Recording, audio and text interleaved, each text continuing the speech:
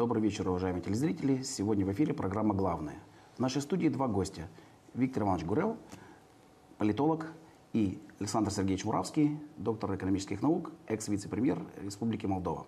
Если вы помните, примерно месяц назад я анонсировал новый формат проведения наших передач. И мы решили, что будем собираться вот этим кругом присутствующих здесь людей и разыгрывать, скажем, какие-то определенные или симулировать определенные ситуации, которые создаются в стране, для того, чтобы дать больше разъяснений нашим телезрителям и попытаться найти выходы из ситуации или дать какие-то рекомендации.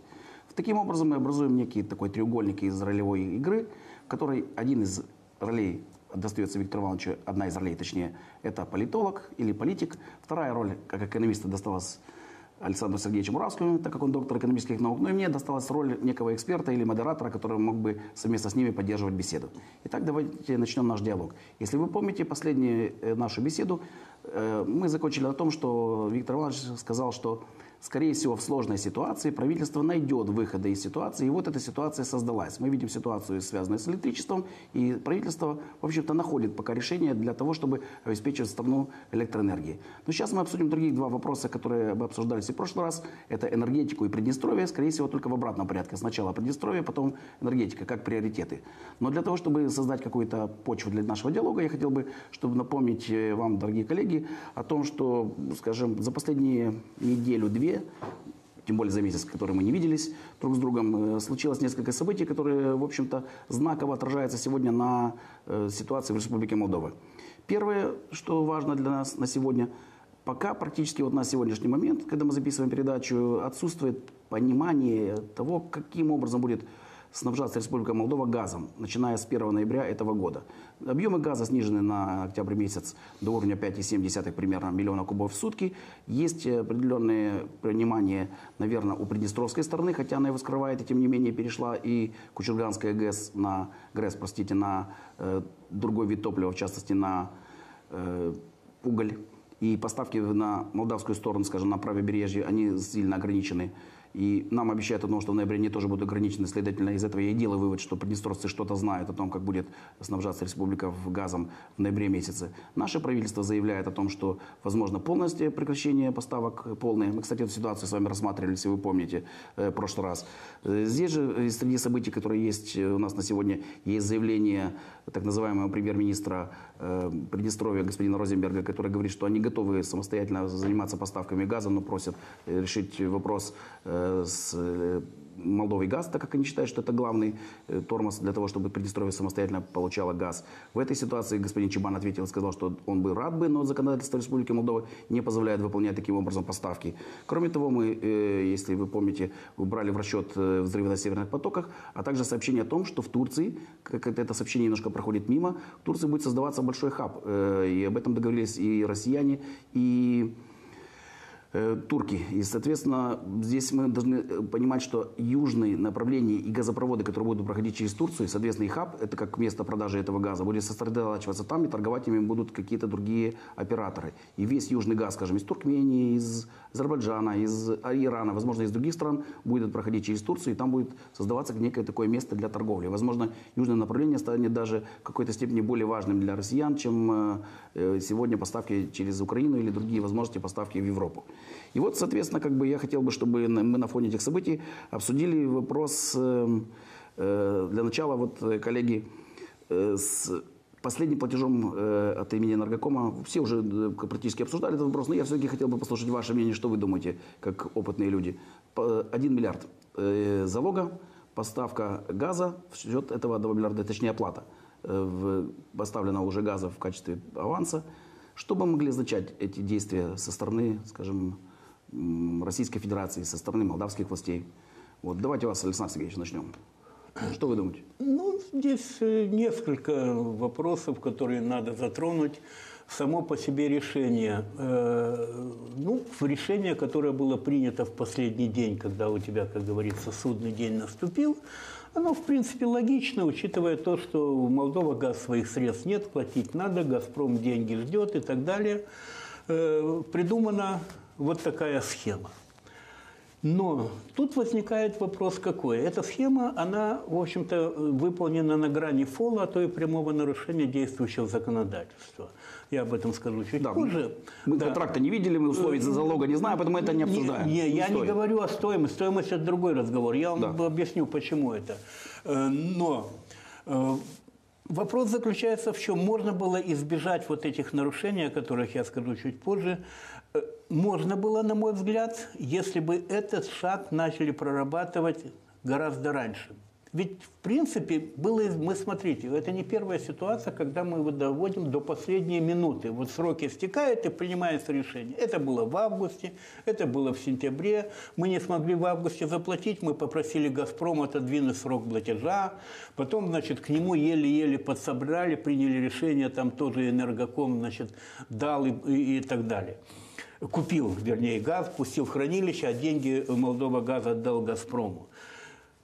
То есть и так было ясно, что Молдова газ не будет иметь финансовой возможности выплатить эти средства. Их все равно надо искать. Где? Доступ к коммерческому кредиту Молдова газ закрыт в силу финансовых обстоятельств. Значит, остается решение только через правительство. Можно было начать это делать 10-12 дней назад и не вызывать, так сказать, критику законодательного характера. А в чем критика? Вот у нас два игрока. Энергоком. Откуда Энергоком взял деньги? У правительства. Что из себя представляет Энергоком? Предприятие, субъект предпринимательства, имеющий да, статус акционерного общества. Да. Все, согласно закону, правительство не имеет права напрямую финансировать, кредитовать и так далее экономических агентов. Единственный способ учитывая то, что Энергоком является акционерным обществом, у которого единственный акционер государства, Энергоком должен провести увеличение уставного капитала, то есть угу. выпустить пакет акций на это, но для этого надо вначале объявить эмиссию, зарегистрировать, бумага, соглас, далее, согласовать да. в комиссии по финансовому да, рынку, да, да. зарегистрировать у независимого регистратора и Правительство миллиард дает, так сказать, энергокому на увеличение уставного капитала, и энергоком отдает деньги Молдова газ. Теперь Молдова газ. Здесь другая ситуация. Ведь решение было принято как? Что энергоком передает Молдова газ, Молдова газ отдает в залог активы. А такая крупная сделка, особенно с передачей в залог активов на миллиард дней, может быть принята только на Совете либо даже на общем собрании акционеров, чего не было сделано, а было все это подведено, что в отступлении от закона об акционерных обществах чрезвычайная комиссия, она имеет полномочия отступать от закона. И всегда возникает вопрос. Во-первых, мы уже год живем в ситуации, когда чрезвычайная комиссия – она в любой момент принимает какие-то решения, не нужен ни парламент, ни правительство и так далее, то у нас вообще нужны правительство и парламент? Или какая-то комиссия может в любой момент решить вопрос, любой? До какой степени продлеваются ее полномочия, распространяются полномочия? То есть этим решением она фактически влезла в дела акционерного общества, независимого экономического агента, и приняла решение, игнорируя высшие органы. Теперь как на это отреагирует «Газпром»? То есть он может сказать, извините, дойдет время, Молдова газ не заплатит, начнутся вопросы отбора активов, и Газпром скажет, да идите вы. Более того, у него есть другой рычаг, он даст встречный иск к Молдова газ на 709 миллионов долларов исторического долга, и начнутся совершенно другие процессы. То есть тут, как говорится, а опережая вопрос миллиард, Виктор Иванович, может, почему миллиард? Я думаю, здесь посчитали очень просто. Столько Молдова газ должен отдать Газпром. Да, да, и понятно. не будем тратить время на оценку, на это. Миллиард надо, вот миллиард дадим. Все. Интересная мысль. Э, Виктор Иванович, вот вы знаете эту внутреннюю кухню. Вы верите, что Молдова газ могла это решить без консультации с Газпромом?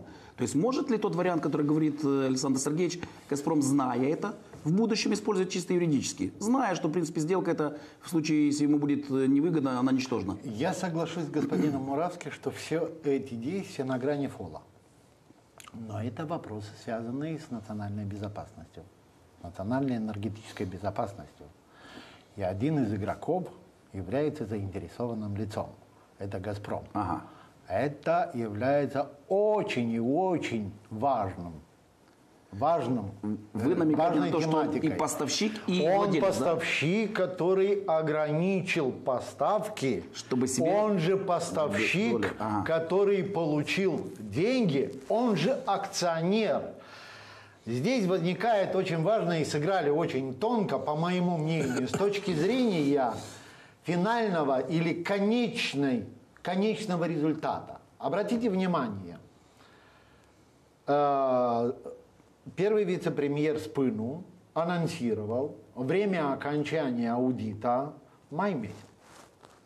Да? Нет, ну, уже 2023 последний раз- года в дискуссии с Миллером. Э, Виктор Иванович, последний раз он сказал, а, 23-го Дискуссии или с 22-го? Миллером. У нас, у нас уже столько сроков. Нет, Да, просто последний раз он сказал январь. Последняя 23-го. дискуссия с Миллером, которая была анонсирована им, он анонсировал дату Да, он май 2023 год.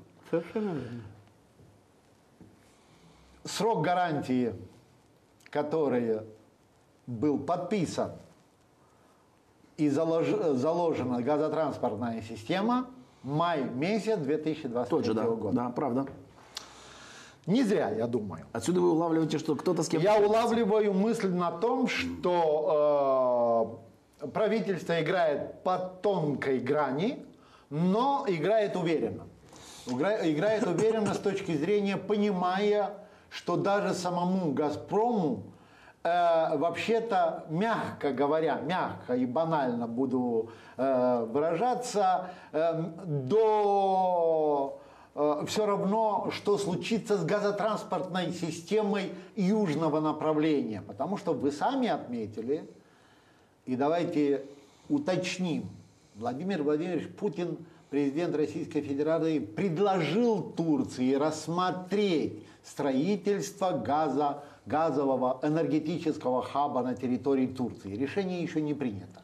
Однако, нужно правде смотреть в глаза, что основные Основные действующие магистрали на сегодняшний день, которые имеют наполняемость свыше 70%, это как раз южные магистрали через Турцию, где работают совсем другие трейдеры. Да, даже больше, чем 70%. Северные и центральные, в принципе, северные не работают. Южный, это северный Северные поток потоки, 2, да. северный поток 1 выведены из строя. И Ямполь, Польша, поскольку я знаю, тоже не Ямал, работает. Ямал, Польша. Да, Ямал, Ямал, да. Поль- э, Польша, тоже не работает. В конечном итоге просматривается идея или просматривается ясное понимание, что «Газпром» в теме. «Газпром» в теме, и действия правительства каким-то образ- образом скоординированы с российской стороной. Почему? Возвращаясь к идее, заинтересованная сторона получает деньги. Заинтересованная сторона ограничивает поставки, и заинтересованная сторона является акционер, акционером, один главным акционером Молдова Газ. А сейчас по сути. Мне кажется, что развязка вопроса по газу и по газотранспортной системе наступит как раз летом 2023 года. Дело в том, что я как-то высказывался, что на данном этапе «Газпром» является сам заложником, неким заложником этих геополитических, э, будем так говорить, баталий между Западом и э, Российской Россией, Федерацией.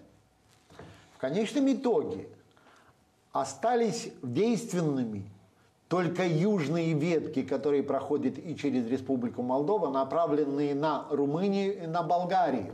Но они находятся под санкциями. Румыния и Болгария на сегодняшний день не питаются из них, не, на- не отбирают газ. Поэтому стоимость содержания вот этих магистралей для «Газпрома» очень высока. И последнее.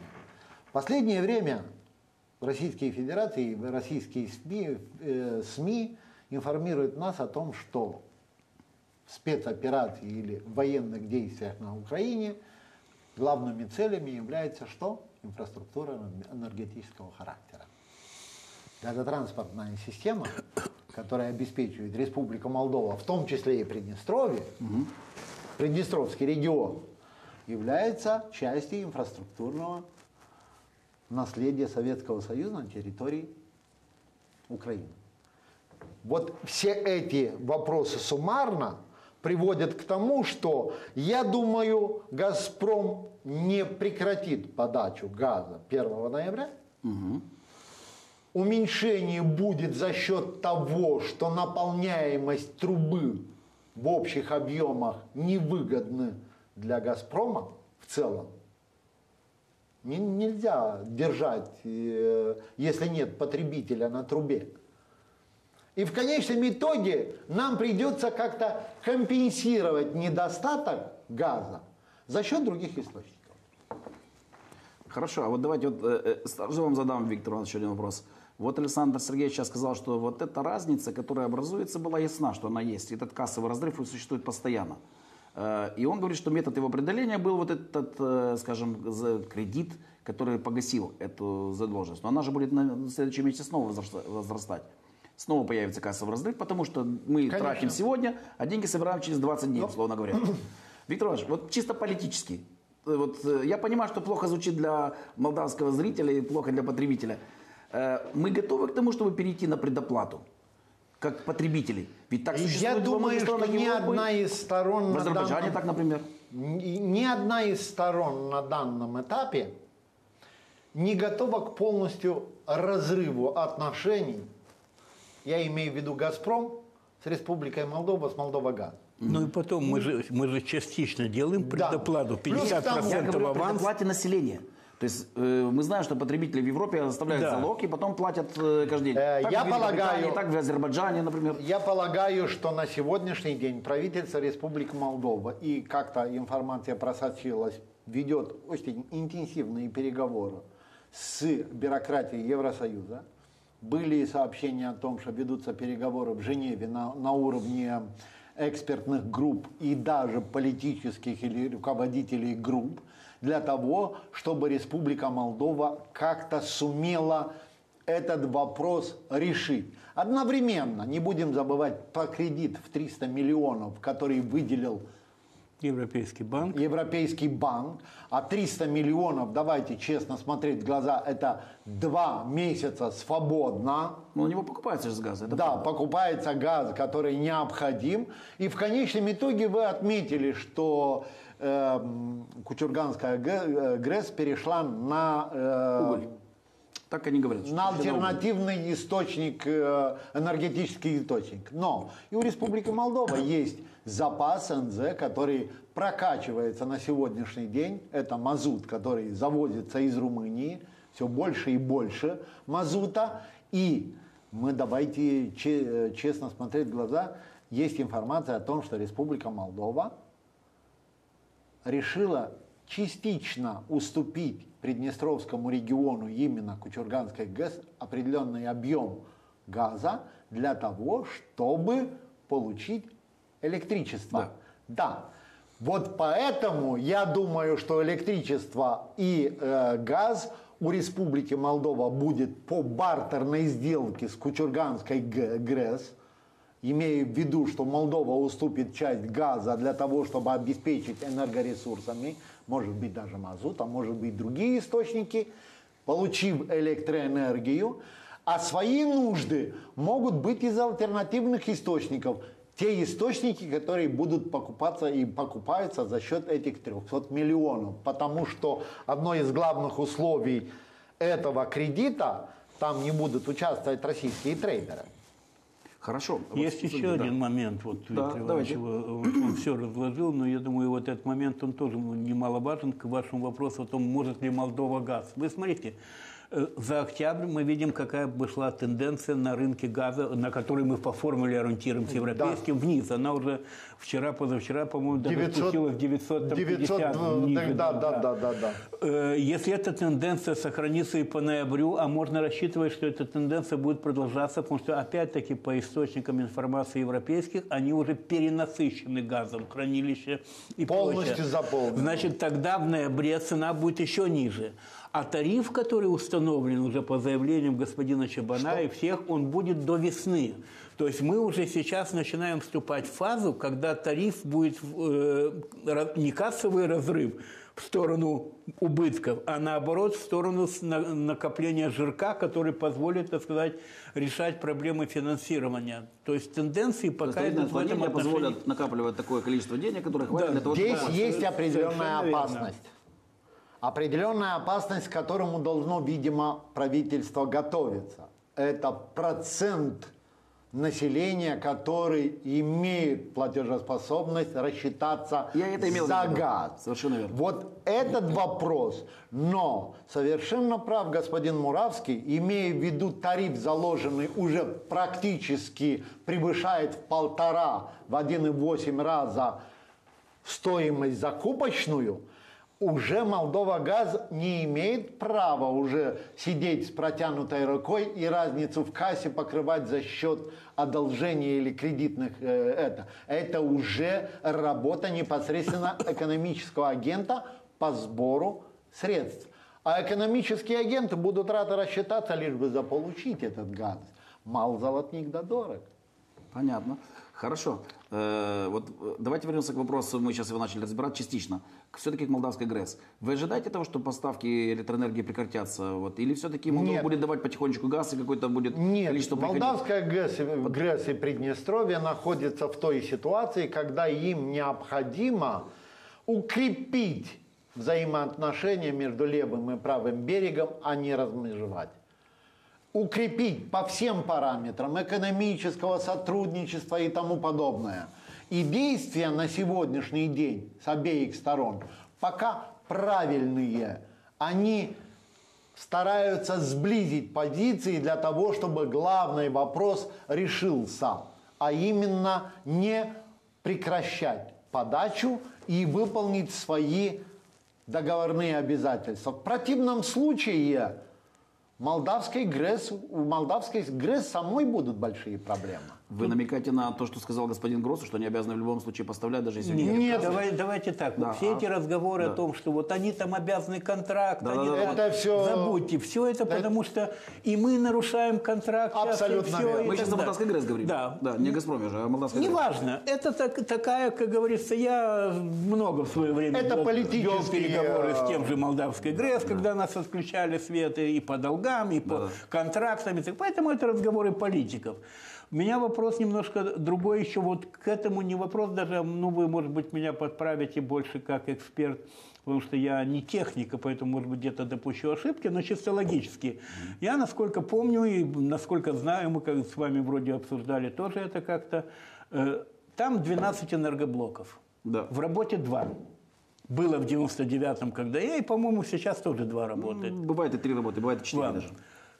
Два – это минимум. Станция не может заработать на одном, потому что возникает проблема, которая вот как у нас с двумя поставщиками. На самообеспечение. Да, на да. само... Э, да. Значит, а эту энергию надо куда-то девать. Приднестровье, ну все у них, ММЗ и цементные все это заберет, а население столько. То есть им надо ее сбывать. Поэтому тут вопрос, вот то, что мы действительно связаны. А вот каким образом? Меня, э, ну, радует, с одной стороны, вот это сообщение о том, что будет вот эта встреча один плюс один именно да, да, да, по, по энергетике. Ну, я не знаю, может быть, это не освещалось, надеюсь, что это было, если не было, это плохо. Я знаю, что эти встречи такие нужны. Но я как говорится, знаю, что в 99 году, при всей трудности, хоть и бьют и так далее, у меня не было каких-то специальных встреч, о которых объявлялось. У меня был постоянный контакт.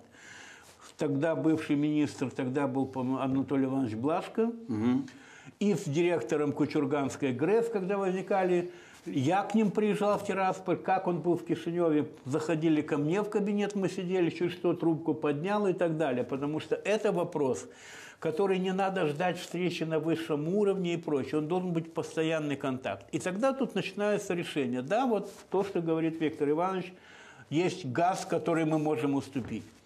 Теперь они обеспечены углем. Теперь мы с вами обсуждали, учитывая то, что технически станция работать может и на газе, и на угле, и на мазуте. Абсолютно верно. То Хорошо, у нас проблемы с углем, но мы можем рассматривать с ними вопрос об выработке электроэнергии на давальческой схеме, что мы даем мазут, У нас мазут на сегодняшний день тесты до декабря обеспечены. Румыны сейчас еще поставили где-то 15 цистерн.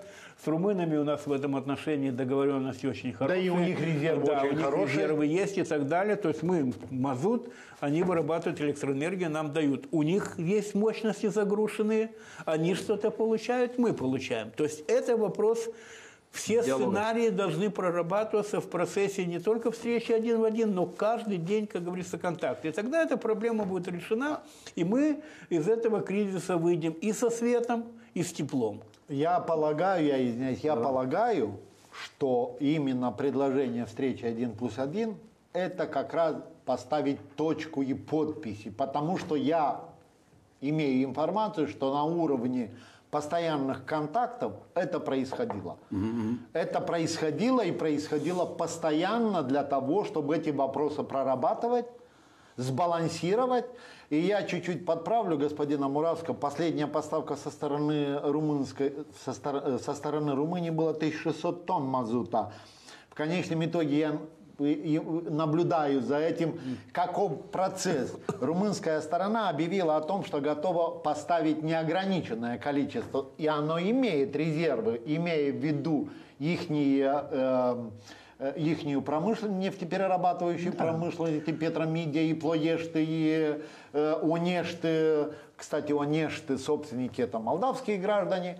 Поэтому вопросы правильно У нас- не должны возникать. У нас вопрос сегодня какой? Мы говорим об энергобезопасности. Энергобезопасности, как монета, имеет две стороны. Одна финансовая, когда все нормально, технические системы работают. Энергобезопасность – это способность платить. Абсолютно верно. Все, тебе пригонят электроэнергию хоть с британских островов и так далее. Вторая техническая. И вот мы сегодня попали в ситуацию, когда технический уровень безопасности у нас повысился, прямо скажем, потому Да. что у нас появились, кроме основной одной трубы «Газпрома», есть Интерконнекторы. да, Ясы, Ундены, Кишинев. Да, она не решает все проблемы, но она значительную часть берет на себя нагрузки. Может взять, может взять. У нас появились, так сказать, те- теоретические возможности о том, что Азербайджан, да, мы знаем, мы обсуждали, что там надо найти, так сказать, ну кто знает, может быть, при сильном стуке нам уступят квоту в 300 миллионов для того, чтобы запустить, так сказать, газовую эту трубу. То есть есть какие-то возможности. По электричеству. У нас, кроме этого вектора, мы подсоединились к европейской сети ассоциации этих да. транспортеров. Э, Значит, мы можем получать не только из Румынии, но Мы по всей этой системе. всех, э, Вопрос платить. Вопрос платить. Да. И вот тут возникает вопрос вот этот экономии и так далее. Почему? Потому что э, пиковые нагрузки. Ведь мы сейчас с румынами, давайте смотрим, мы уже имеем два контракта, да? До де- 90 евро в 100 мегаватт. И я знаю, что возникают разговоры у некоторых э, слушателей и так далее, что вот, смотрите, мы там берем, а румыны что, помогают, нам дают по 90, когда кучурганы там по 62,5, украинцы по 77. Ну давайте будем спокойны. 90 – это та цена, по которой уходит потребителю в Румынии, и она субсидирована правительством Румынии. Это мы по специальному контракту получаем от румын субсидированную их правительством. И мы это должны сказать спасибо и не возмущаться, что она такая высокая, потому что реально она на- гораздо выше. И мы видим второй контракт. А почему румыны не могут дать больше? А потому что они привязаны к европейским требованиям, что у И регламентации границы- европейской, что ниже просто да, потому нельзя. что иначе тогда начинается дисторс, как говорят, э, разб- балансирование рынка, поскольку они выбрасывают электроэнергию с субсидий на рынок. Вот есть плафон. Вот они этот плафон выполняют, и я еще раз повторяю, надо сказать спасибо за это. Второй контракт от 190 до 348. Он уже возникает почему? Пики такие. А потому что электроэнергия – это не газ, это не мазут, который ты можешь купить, загнать в хранилище – И держать и сколько держать сколько хочешь. угодно. А электроэнергию ты не поставишь в карман. Вот ее купил, она и биржа все время работает. И там, получается, есть пиковые нагрузки утром и вечером в силу специфики промышленного производства и так далее. Когда прибегает много потребителей, а тут простые законы рынка, спрос, предложение. Естественно, цена поднимается выше, и когда пик уходит, то цена ниже. Вот нам надо максимально эти пики Сбалансировать.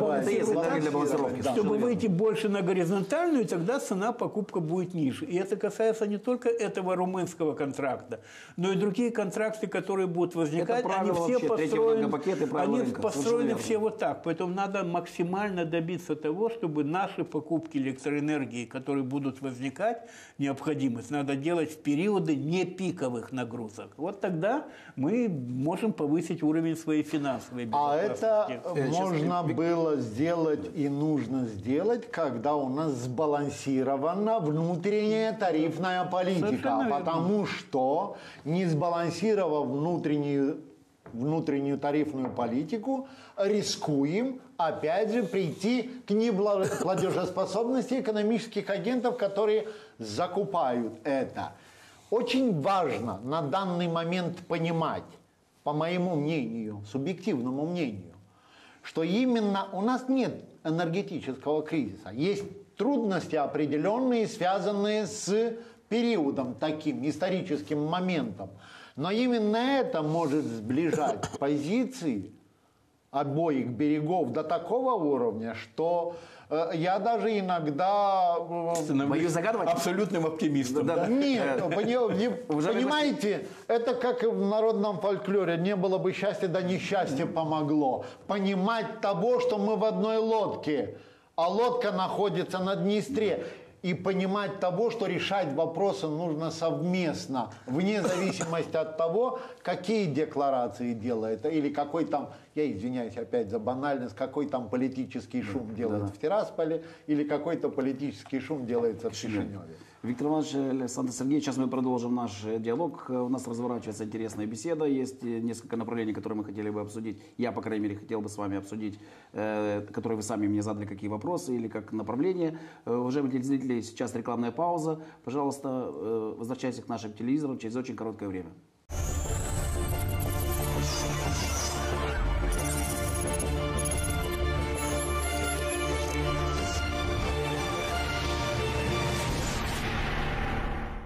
Надеюсь, что для вас пауза прошла с пользой. Уважаемые друзья, мы продолжаем наш диалог с двумя нашими гостями студии. Виктор Иванович Гурел и Александр Сергеевич Муравский. Э, Вы задали, Александр Сергеевич, вопрос по поводу завоза мазута на Приднестровскую сторону. Нужно понимать, что если мазут туда привозить, и она будет рыночной, по рыночной цене, то цена электроэнергии будет, э, конечно, у ГРЭС выше, по которой она будет продавать нам. То есть продавая газ, здесь еще есть какие-то варианты, допустим, по-прежнему записали в тот же долг, но получили дешево. Здесь уже не получится. И цена будет примерно равна цене нашей ТЭЦ. Потому что ГРЭС эффективнее, чем наша ТЭЦ, потому что просто больше установка, больше турбина, с одной стороны. А И возможности технические Да, больше. Мы согласен. же говорим о 12 энергоблоках, которые, можно запустить. стороны- Согласен. Сейчас, Ну, на щас- 12 12 я нельзя. Не, я имею в виду, Иванович, которые 12 можно. нельзя. Да, да. А необходимость покрывается за счет...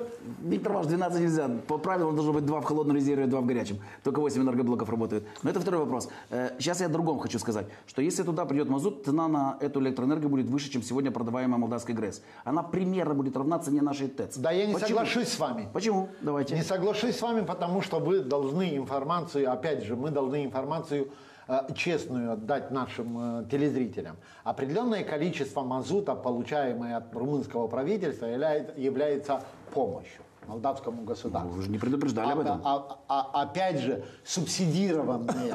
В конечном итоге, когда мы говорим о том, что мы передаем приднестровской стороне мазут, обратите внимание, я использовал слово «что?»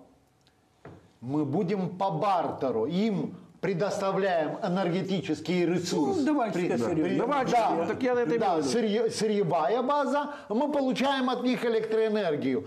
Это уже вопрос не приднестровской стороне.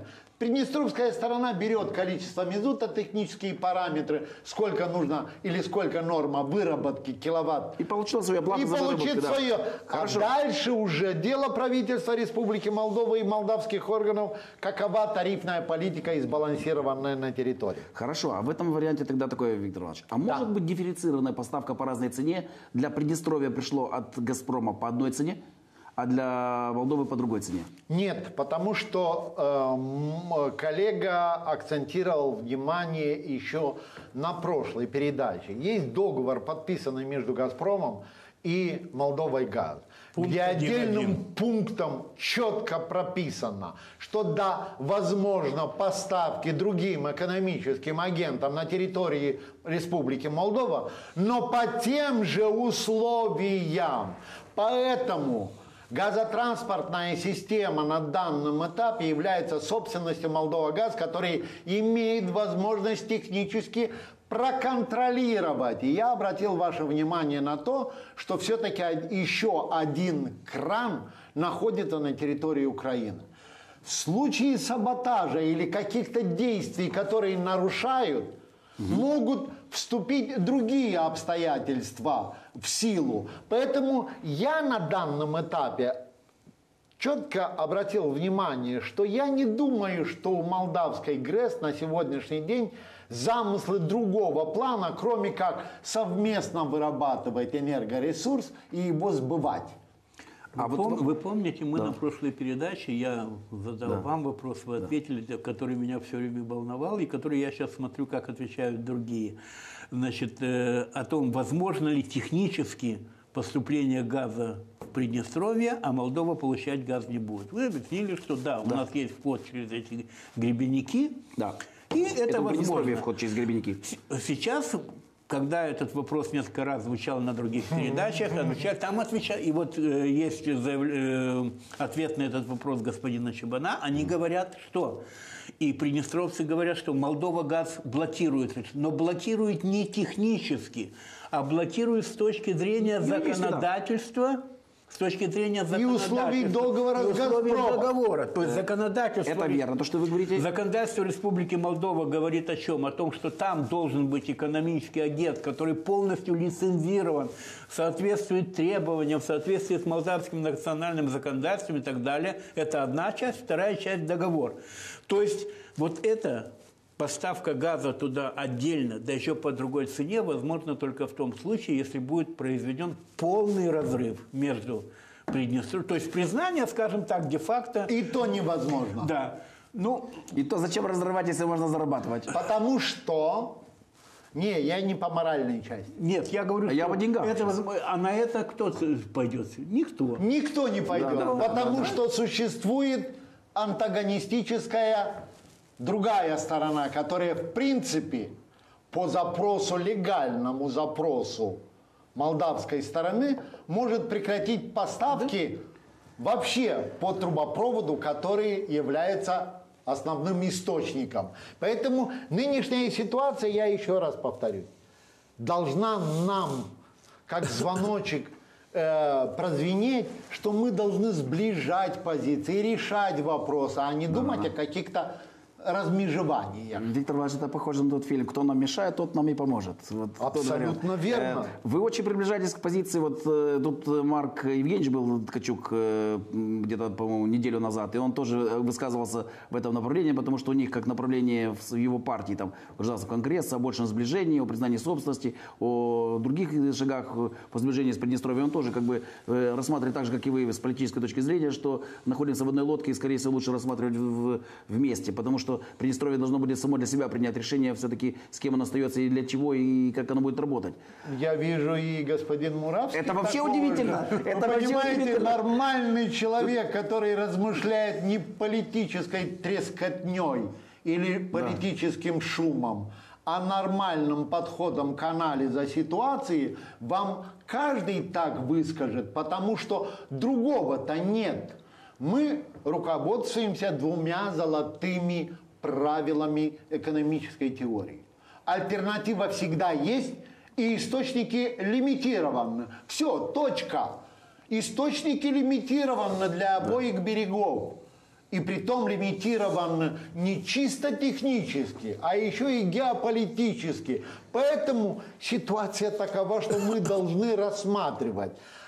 А касательно признания собственности и тому подобное, я уверен, что э, вот этот процесс дойдет до того, что и решение этого вопроса найдется. найдется. Угу. А почему? А что делает, что будет делать с этой собственностью некий инвестор на левой стороне, если будет отключать энергоблоки? Что оно будет стоить? Мертвый груз вы имеете? Мертвый груз. Металлолом может быть для ММЗ. Да, да, да, но его тоже Поэтому стоит. нужно найти решение, но не политической тр- трескотней, а экономически выгодными Да, предложениями. Есть, Подождите, есть, подождите. есть ситуации, в которых разумная целесообразность должна превалировать над всем. Вот мы, ведь можно каждый раз этот вопрос с разных сторон задавать и обсуждать и так далее. Мы-то берем сегодня и хотим получать электроэнергию у субъекта, который мы не признаем. Кучерган признаем. То есть ГРЭС есть, э, ГРЭС, мы- есть, но я- ГРЭС есть, а собственника мы не признаем. Да, да, Но да. электроэнергию берем? Берем. Да. Подписываем Э, договор. Мы ММЗ. Не, мы сначала им даем временную э, регистрацию, мол, да, и потом подписываем. Да, мы, мы ММЗ. Мы можем пойти на принцип, да, что вот мы не дадим эту экологическую лицензию. Можем пойти? Можем И пойти. прекратить Подожди. поставки в Европе. И, да, прекратить поставки в Европе там и создать дополнительную проблему с электричеством. То есть мы понимаем, что есть ситуации, в которых, да, это мне не нравится, именно вот это, но есть ситуация, когда ты должен принимать целесообразное решение. Александр А Сергеевич, когда у тебя ситуация нормальная, и у тебя нет подводных камней, которые, на которые ты напоришься и начнешь тонуть, вот тогда ты можешь сидеть и рассуждать и политически, вот это нам более выгодно, а там мы давайте прижмем и так Александр далее. Сергеевич, ну подождите, Виктор Иванович, так же именно рассуждает платформа «Да». Я на днях смотрел передачу, господин Вовка говорит, их генеральный секретарь, о том, что если у нас сложится ситуация, при которой она будет сложна, мы должны ввести вот эти санкции. То есть у ММЗ отобрать лицензию и требовать, что нам поставляли электроэнергию. 4 миллиона, миллиарда, по-моему, или сколько там они насчитывают налогов, э, нужно взимать с этой стороны для того, чтобы компенсировать нам стоимость и так далее. То есть как ответные меры. То есть это в несколько степеней тоже в его понимании подход экономический. Он называет, что это только экономический подход. Как бы, но при этом рассуждает о том, какие будут действия, связанные с ограничениями. То есть вы оба говорите за расширение, э, как бы вот, э, может быть, или там переплетение каких-то связей экономических и других, которые дадут потом политическое решение. А он говорит, что нет, я тоже экономически подхожу, но я решаю вопрос для тех, кто угнетен. Как Я извиняюсь, стоп. Да. Я не хочу рассуждать над выводанными и высказываниями гражданина, у которого другой паспорт в кармане. Я гражданин Республики Молдова. И все, которые знают, знают, что у меня один паспорт в кармане. И я говорю тоже, про целостность Я тоже, чтобы а то не скажут, он молчит, у него понимаете, дело в том, что да, мы имеем этот недуг, который есть. Республика Молдова, к сожалению, заложник, вот, э, э, зало- заложница вот этих внутренней, внутренняя политика Республики Молдова заложена геополитическим фактором. Это унионисты румынские, с одной стороны, и граждане, которые имеют один паспорт, у них особое мнение. И это те, которые ратуют за мы с Россией. Русский мир, да. Да, за русский мир. Люди добрые. Должно прийти понимание, что решение вопроса энергетического характера, энергетической безопасности должно касаться всех граждан Республики Молдова. А я вам могу сказать одну вещь. В Приднестровском регионе две трети граждан паспортами Республики Молдова в кармане. Они граждане имеют конституционные права такие же, как те, которые делают такие высказывания. Да, мы, как эксперты, должны рассматривать и такой сценарий. Введение ограничений. Да. И такие сценарии возможны. Если возможно введение в Румынии 101-й парашютно-десантной особой дивизии США, Ну, это их вопрос, их паспорт. это их вопрос. Э, э, На данном историческом этапе все возможно. Я к чему веду разговор? Но мы трезвые люди, которые экспертно рассуждаем и как специалисты в неких областях должны понимать, что есть левая сторона, есть правая сторона, а есть общие интересы посередине, которые стороны нужно решать вне зависимости от того, какова ситуация, людям нужен свет, людям нужно тепло, людям нужно энергоресурсы, нужен газ на плите, чтобы готовить пищу. Точка. Все остальные вопросы, я еще раз повторюсь, это политическая трескотня и желание как-то выделиться неким особым mm-hmm. мнением на политическом рынке Республики Молдова. В основном такие высказывания это э, выбрасываются в, в, в медийном пространстве политическими банкротами. Интересно. Э, Виктор Иванович, э, вот э, раз вы уже, я вот думаю, я просто мне как-то, может быть, неудобно, что ли, даже в какой-то степени, что я немножко вас прервал с этой парашютно-десантной дивизии, так как вы все к одному паспорту, мы все об одном паспорте говорим. А вот как вы думаете, вот ограничения ведут к какой-то катастрофе гуманитарной, каким-то проблемам для Приднестровья? Или там еще какие-то угрозы существуют для Приднестровья, которые могли бы привести к, к тем проблемам, которые потом, скорее всего, и нашими проблемами станут для правобережья Днестра? Вот вы как-то видите здесь связь?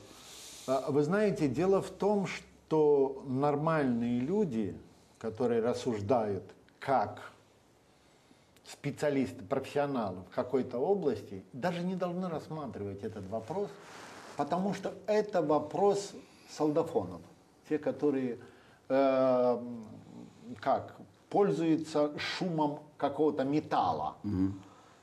Нельзя рассматривать на данном этапе вопросы, которые приводят к дестабилизации ситуации в том или ином регионе, когда и так вполне достаточно напряжения, в том числе и военного характера, mm-hmm. активного военного характера в регионе. Нельзя. Дело в том, что Республика Молдова, повторюсь, чтобы наши телезрители поняли, и так разделена и является под влиянием геополитических факторов, это и социально-экономическая, и внутренняя политика Республики Молдова, под этим постоянным прессингом. Если мы научимся защищать свои интересы экономического характера и наших прав как гражданина, мы забудем о том, что у кого-то есть там паспорт румынский или паспорт российский. Угу. Но если мы будем постоянно заниматься политической трескотней, которая приводит к дестабилизации, то, конечно, общество не, э, станет еще э, апатичнее ко всему, что творится. Молдова идет, в Молдове идет некий процесс депопуляризации. Деп... Исхода населения вы имеете в виду? Да. Угу. От чего? От того, что нет взрослых трезвых политиков, которые бы обвели в сторону всю эту политическую трескотню и повели народ, как Давид побел евреев, типа 40 лет через и привел куда надо. Моисей там повел. Моисей, туда, Моисей я и Туда, где нет нефти. Да, туда, туда где нет нефти. Сейчас да. есть. Но все равно есть определенное счастье. Сейчас есть, набили да. в море, и, да, и тому подобное. Поэтому, вы знаете, э, я как-то, еще сегодня сказал, в нынешнем политическом моменте все возможно. Все возможно. Оно до такого уровня напряжения региональное, до такого уровня, что мы можем только предположить. Но я, как нормальный человек, предполагаю, что нынешняя ситуация сблизит позиции левобережья и правобережья. Да, эта мысль очень, э, как бы скажу, очень такая обнадеживающая, оптимистичная.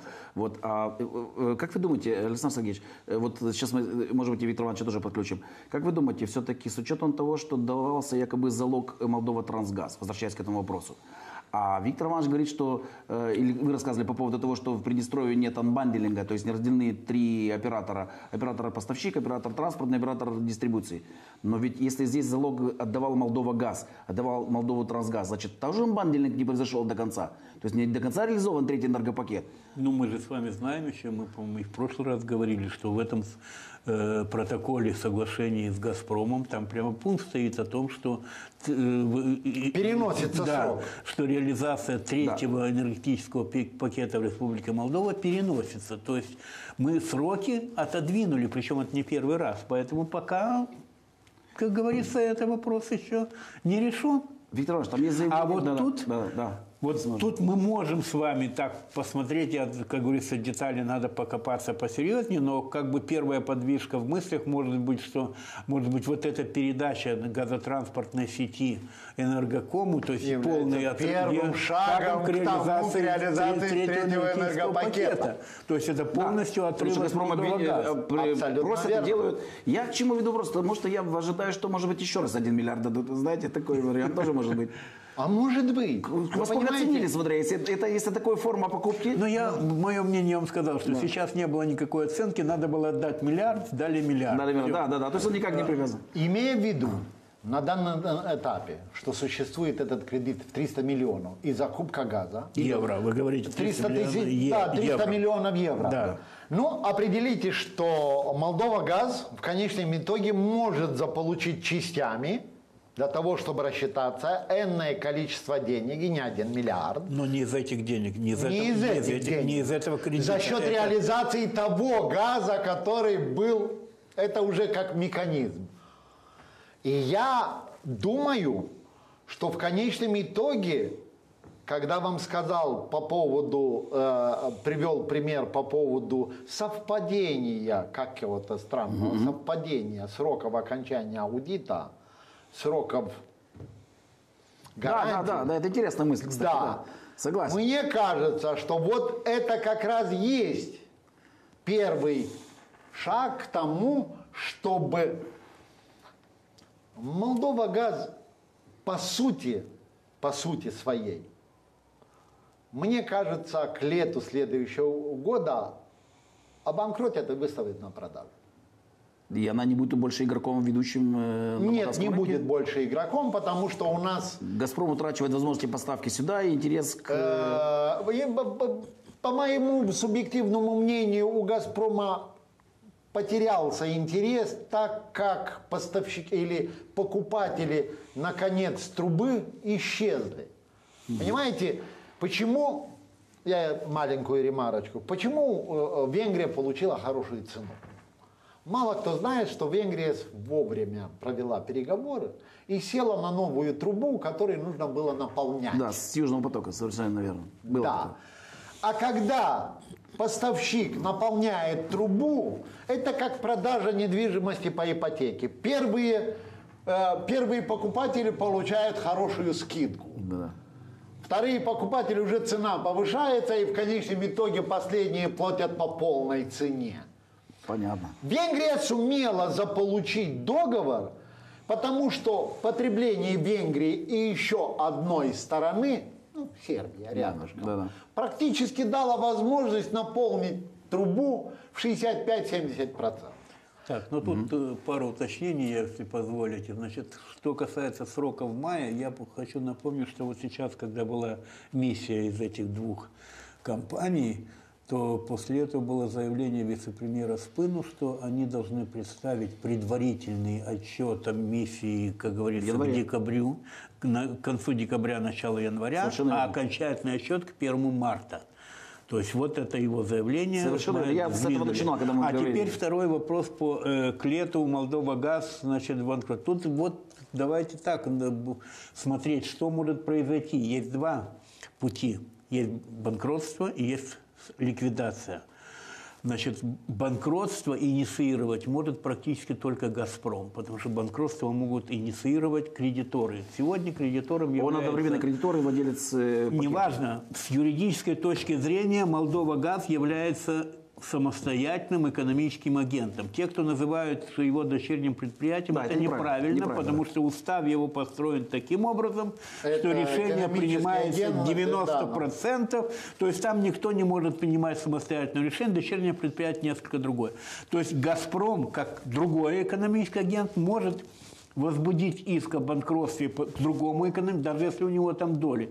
И уже там начнутся и так далее, что в процессе банкротства, погашения долга за счет акций. К правительству никаких претензий «Газпром» не может, потому что правительство не отвечает по долгам экономического агента. Он может потерять 35% этих Хочу вам акций. напомнить, что с покрытием долга в 1 миллиард другой кредитор. Другой кредитор. Появился Да, да, энергоком, да. который Но- может инициировать Но- процесс о банкротстве. Это если Молдова если газ Молдовгаз Не не рассчитается. или не отдаст ему залог, указанный в контракте. Всё правильно. Вот если не рассчитается и не даст залог, вот тогда те могут начать процедуру. Поэтому тут Совершенно верно. шаг длиннее. Это правильно. Но я А, ликвидация, а полагаю, вот ликвидация, вот Что тут- кое-кто уже прочитал это, да? а, а вот кто-то лик- просчитал. а ликвидация может возникнуть самоликвидация.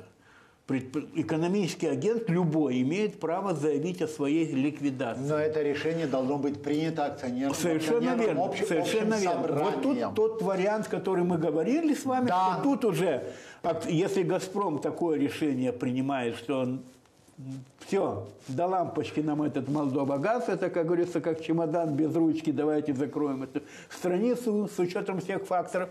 Тогда общее собрание принимает решение о самоликвидации, и, И дальше уже начинается... я Есть такой остаюсь сторонником, что кто-то просчитал, что если «Газпром» не согласится с процессом ликвидации, «Энергоком» будет инициировать процесс о... Да, но они если вернут А долг- знаете почему? Виктор Иванович, но они Дело в вернут том, долг. что вы сами Это только отметили- если долг не вернут, Виктор Иванович. А? Если не вернут долг, этого разговора даже не будет. А вы знаете, долг Молдова газ формируется за счет платежей граждан Республики Молдова.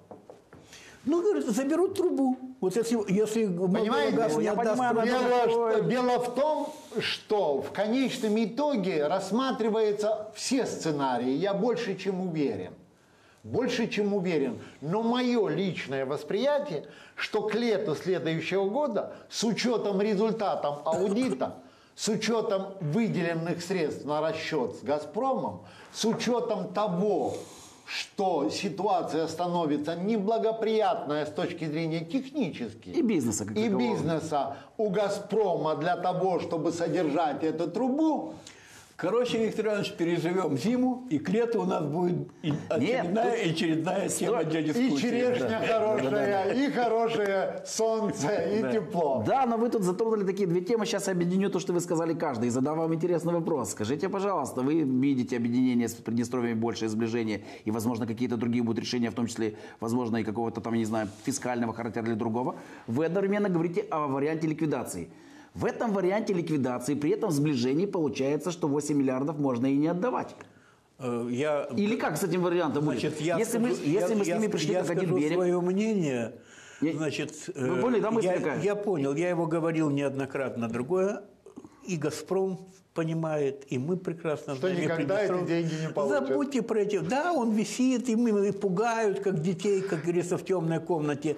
Приднестровье 8 миллиардов никогда не отдаст. У них не с чего отдавать. Вы не поняли вопроса, Александр Сергеевич. Еще раз, представляете, вот какое-то идет сближение с Приднестровьем. Приднестровье становится как с нами, оно есть уже территория Республики Молдова, но становится в какой-то мере подчиняться каким-то правилам, которые выработали два берега.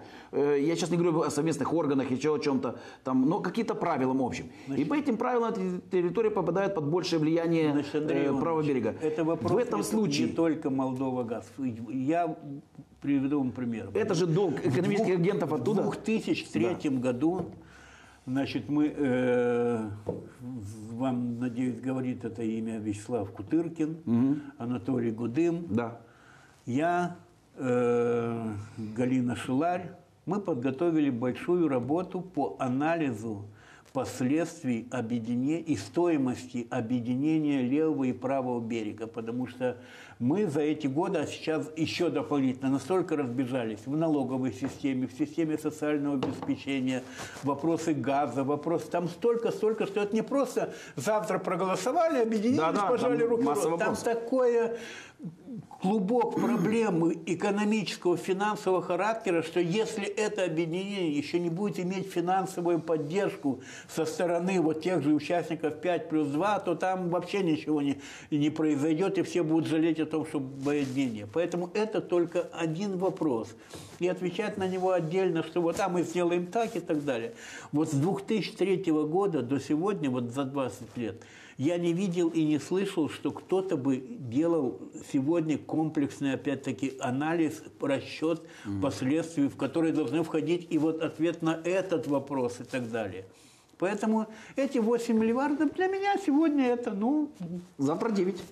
завтра Завтра 9, завтра завтра, потом 10 и так далее. Ну и А, На территории ГДР был такой завод очень большой, который производил автомобили Варбург. Да, я помню. Кто помнит? Да.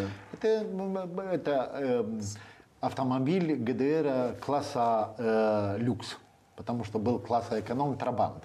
Да. Знаете, за сколько продали этот завод?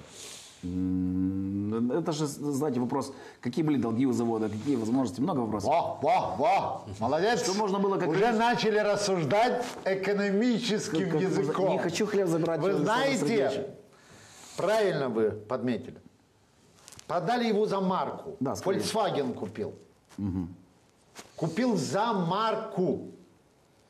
Условия были таковы.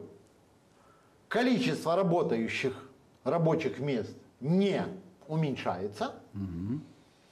И градообразующие социальные проекты, которые были при ГДР, в течение 25 лет сохраняются. Кто за это платит? Правильно коллега отметил. Все граждане ФРГ, которые платят по сегодняшний день налог объединения. Налог объединения. Поэтому правильный ход мысли мы должны понимать, что вопрос Приднестровья становится по уровню капитализации и экономических коммерческих подходов со стоимостью в одну единицу, которая бу- нужно будет покрывать за счет решения вот тех всех вопросов, которые накопились за эти 32 года. Вот эти вопросы, решение тех вопросов, они стоят. Они само по себе что-то как объект. Нет. Или как субъект. Нет. Вопрос решения этих направлений. И в конечном итоге на данном этапе это вопросы энергетического характера, это вопросы социального характера, это вопросы сближения неких норм и законодательных актов, которые в принципе дадут общий продукт, некий промежуточный. Если хотите, вот эти нейтральные номера, это хороший пример к тому, что есть определенное движение. А к чему приведет, мы не знаем. Мы не знаем, мы не можем дать ответ. Нынешняя региональная политика и то, что творится вокруг нас, может дать любой результат. Любой результат. Смотря по какой стороне нити мы найдемся. Найдем себя. Понимаете, дело в том, что хотим мы или не хотим, честно нужно признать, что вот та ситуация, которая есть на Украине, в принципе, должно дать понимание, что мы должны поменять менталитет, свой менталитет. Потому что есть поверие или не поверие в высказывание одного американского политика и философа. Что толку, чтобы менять правительство, если не меняется менталитет тех, которые выбирают это правительство? Никакого толку нет. Э, э, Смотрите, э, как-то вот вы нас заинтриговали сейчас в этой ситуации, и я тут потерял одну мысль, но она мне снова пришла в голову. Смотрите, какая. Вот вы сейчас рассказали так хорошо, вот так объединяемся, все это на положительной ноте, оптимистично и так далее, и так далее. Но мы видим действия, секундочку, мы видим действия Румынии, что Румыния так просто оставляет. Вот она э, подает э, газ, отдает электроэнергию, помогает всячески и так далее. Но явно зарабатывает политические дивиденды, Виктор Иванович, вы же политолог. Так в этой ситуации Румыния как будет рассматривать вопрос? Я вас прошу, не надо пугать население Молдовы румынским Я не пугаю, я спрашиваю, как она будет вести себя в этой ситуации? Она никак не ведет себя. Да что Вы услышали какой-то проект. Вот когда Германия объединилась, вот работала, если я не ошибаюсь, три с половиной года рас- а, а, рассматривали все вопросы касательно вот советские эксперты или группы экспертов и со стороны Запада до подписания основных документов. Вот посмотрите, я вам приведу пример. Где унионистские партии? Где в Германии у нее Не-не-не, здесь у нас, в Республике Молдова, в парламенте они Нет, не присутствуют. Они присутствуют. А ведь информация трескотня политическая, что у нас 50% румын на территории Республики Молдова. Помните? Да. Где они? Не, они есть просто... Ау. Нет, я имею в виду с точки зрения политического А, да. Или влияния, как вы говорите. Да, Румыния обязана помогать. И я вам скажу свое личное мнение. Потому что в сороковом году они подняли задницу и убрались отсюда, как после... Не хочу выражаться. Я такое мнение слышал уже много раз, честно говоря. Да, финны воевали за свою свободу или за свою независимость и за свой суверенитет. Поэтому, если есть разделенная Молдова, то эта часть вины ихняя. Потому что поделена Молдова тоже по геополитическим принципам. И церковь молдавская, и все, что есть молдавское. А говорить о том, что есть влияние геополитического характера над Республикой Молдова румынского фактора, я не берусь. Знаете почему? Потому что существуют такие страны в Европе, как Германия, Франция, Италия, Великобритания, которые никогда не согласятся с поглощением Республики Молдова со стороны Румынии. Вы сегодня выдаете столько оптимистических э, предсказаний нашим телезрителям, Виктор Иванович, что вашими устами да мед выпить. Ну, почему? Ну, Дело в том, что, как говорится, все...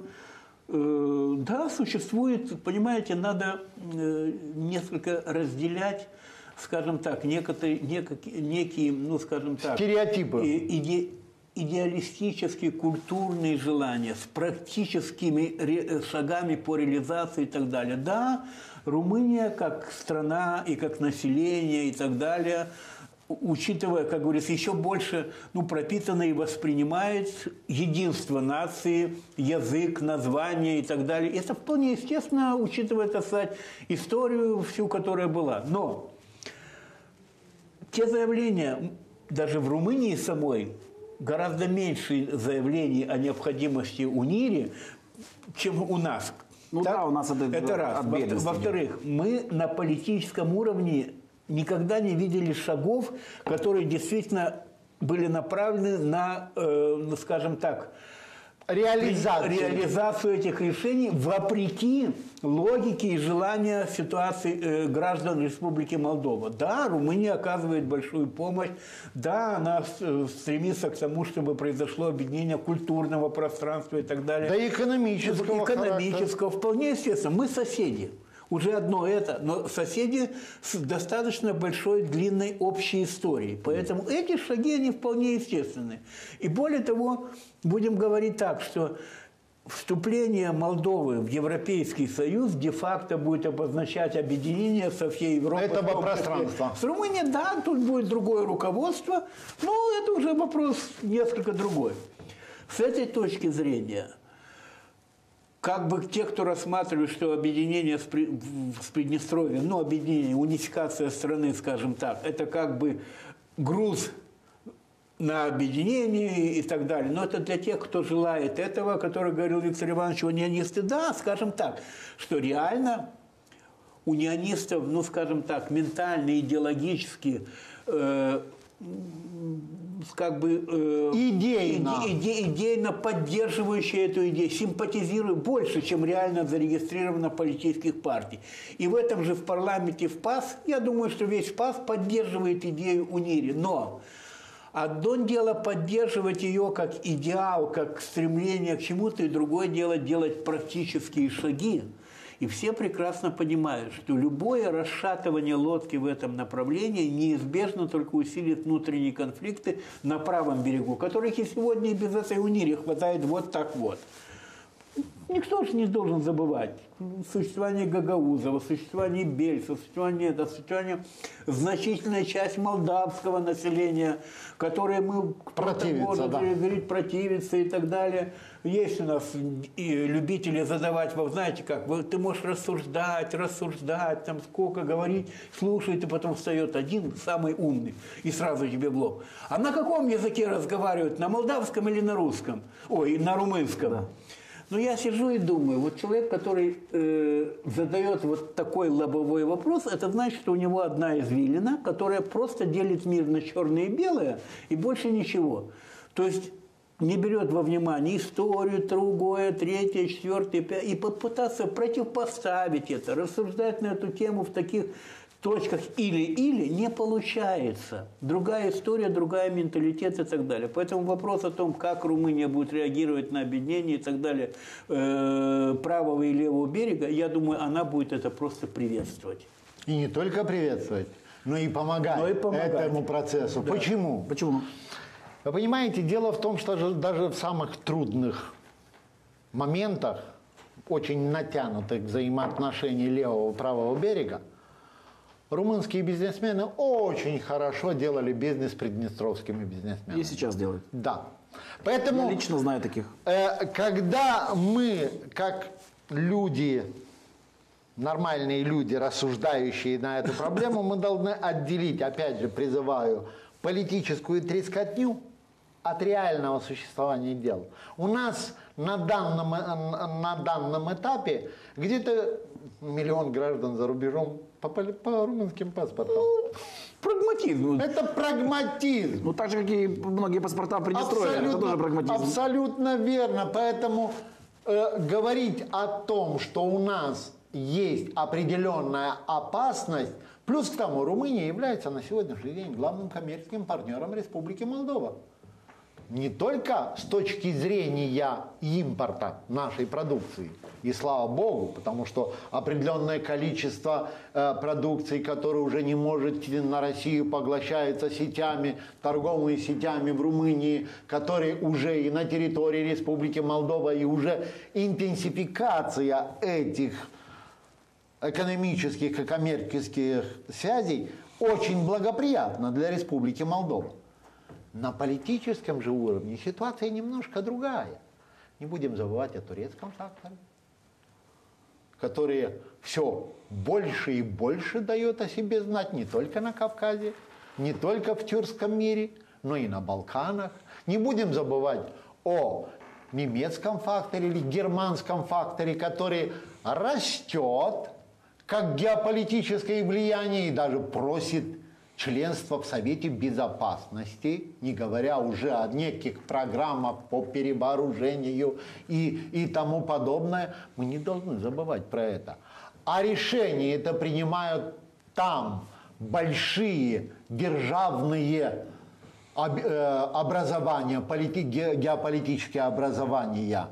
И в конечном итоге прав господин Муравский, когда говорит о том, а кто хочет еще одно расшатывание лодки вот на данном этапе. Я хочу с вами встречаться и встречаться. Мне все больше и больше нравится вектор ваших рассуждений. Э, В, э, в конце нашей передачи хотелось бы задать вам такой вопрос. Можете не отвечать, но постарайтесь на него ответить как-то так более кратко. Хотя мы всю передачу об этом говорили. Как знамени- знаменитый э, Яна Арлузорова. Может не отвечать, сюрприз будет. Да, сюрприз будет, да, да, да. Потом сюрприз будет для мамы. Да. Да. Э, Вопрос такой. Вот мы пример отмерили промежуток, э, согласились с этим в какой-то степени полгода. Ваш прогноз э, с точки зрения Приднестровья и энергетики на ближайшие полгода. Каждый из вас. Выскажите, пожалуйста. Что ждать нашим гражданам? Не, ну, я, я не берусь делать такие прогнозы. Могу единственное сказать, что катастрофы не будет. Зима будет тяжелая, будет еще много, так сказать, поводов для того, чтобы мы все, начиная от правительства и кончая последним рядовым гражданином, нервничали, что-то это самое, будут какие-то еще обсуждения, гневные обвинения, иногда справедливые, иногда нет в адрес правительства, будут ожидания. Но катастрофы не будет. Зиму мы переживем тяжело, как говорится. Там солнышко расцветет и уже доживем до весны. И там уже будет... Май уж точно да, весна. И там уже будет, как говорится, немножко другие темы. Очень много, конечно, есть один фактор, на который мы повлиять не можем.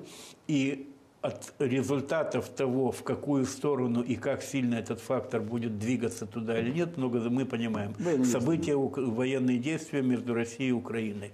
И что и как будет происходить там, очень но сильно будет влиять на ситуацию у нас. А это то, что вне нашего влияния. Виктор Иванович, что вы думаете? Ну, я думаю, что зима не будет тяжелой, такой же тяжелой, как мы провели кон- кон- конец 90-х годов, когда были веерные отключения. Они будут, будут более мягкие. Почему? А, правительству удалось сбалансировать внутреннюю тарифную политику э, с учетом того, что есть и возможность, как говорится, дорого, но обеспечивать энергоресурсами Республику Молдова на должном уровне. Почему? Потому что и коллега, и э, я э, отметили, что тарифная политика, которая была утверждена в Республике Молдова, она была утверждена с учетом того, тех, той ценовой политики, которая была в сентябре, в октябре э, этого года. Но уже ситуация, или будем так говорить, конъюнктура и геополитическая, и экономическая и энергетическая в Европе меняется, в том числе и в Республике Молдова, которая приняла за основу биржевые вот, э, индексы э, или формирование цены в зависимости от э, биржевых индексов. И это дает возможность хоть и дорого, но обеспечить. Но вы знаете, что не стоит ничего, ничего не стоит. Не стоит. Поэтому мы, граждане, должны научиться экономить. И это не, не фактор такого, не бравада какая-то, а именно везде и всюду энергоресурсы экономят во всех капиталистических странах. И мы, если хотим стать европейцами, должны понимать. Я извиняюсь, маленькое отступление. Я ездил в гости к своим и в Италии, и во Франции в ноябре месяце. И мне честно сказали, вы... Э, Потеплее так, одевайтесь? Да, и это было на севере Италии, где э, горы, Альпы рядышком, и это э, холодновато, но они так живут, и вот процветают. Экономия должна быть экономной. Поэтому э, смехотворство насчет того, что призывает к экономии, это ни к чему не приводит. Что касается Приднестровья. Э, да, согласен с коллегой, что ситуация на украинском фронте очень сильно влияет на ситуацию в Республике Молдова, вне зависимости. Но я придерживаюсь мнению золотых правил экономической теории, что альтернатива всегда есть, и ресурсы всегда лимитирован. И я думаю, что у обеих сторон на сегодняшний день ресурсы лимитированы. Угу. И э, слишком далеко для того, чтобы понимать, что в этом году или в этом краткосрочном периоде, в ближайшем периоде какие-то действия могут повлиять на так сильно повлиять на то, чтобы дестабилизация шла, дошла и до Республики Молдова. Поэтому у нас все будет хорошо, солнышко процветет, это появится с хорошим настроением, у нас будет хороший 2023 год, э, урожайный, хороший, и э, не думаю, что в этом году будет кризис в энергетике зимой. Наоборот.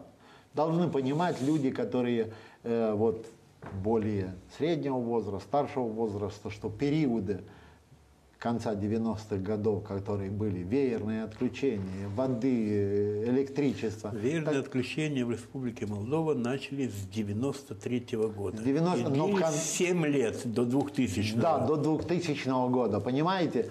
Таких периодов уже нет и не будет, потому что мы в другой ситуации, конъюнктура другая, и наши соседи уже имеют совсем другой потенциал.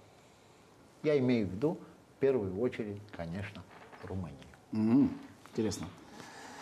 Что ж, спасибо вам большое за интересную дискуссию, за интересный диалог. Спасибо, что поддержали этот диалог друг с другом. Спасибо, что создали определенное настроение. Я думаю, что нашим телезрителям было очень полезно. Я вот за последнее время вижу впервые такие вот оптимистические высказывания на фоне того, что происходит. И какие-то, может быть, из этих э, советов или рекомендаций вы возьмете в свою жизнь, уважаемые телезрители. Спасибо вам большое за внимание. Встретимся еще раз в этой студии через неделю. До свидания.